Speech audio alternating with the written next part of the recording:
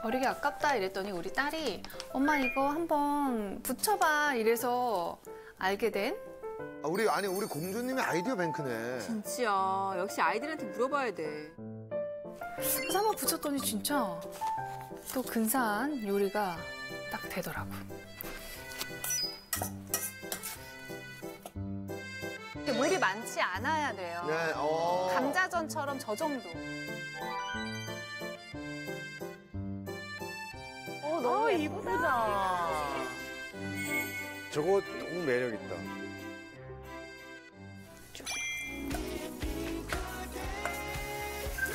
오 재밌네 색깔. 너무 이쁘다 색깔.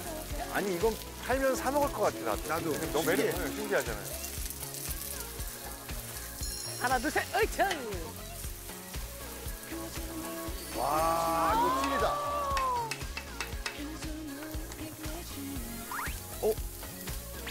아 치즈. 오.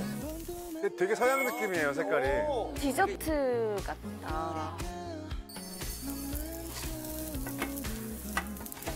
중간에 또 자르면 또 있다가 치즈가 어, 맛있겠다.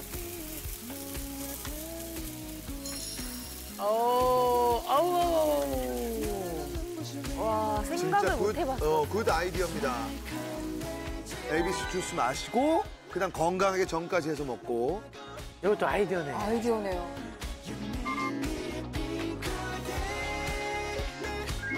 케첩은 이제 사실은 아이들이 너무 아이들이 좋아해가지고 좋아하니까.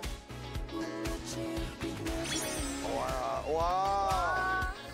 비주얼은 뭐 거의 레스토랑이에요. 예.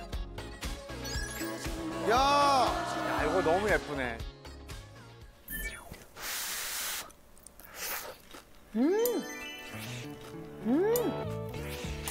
이런 상큼한 전 먹어봤니?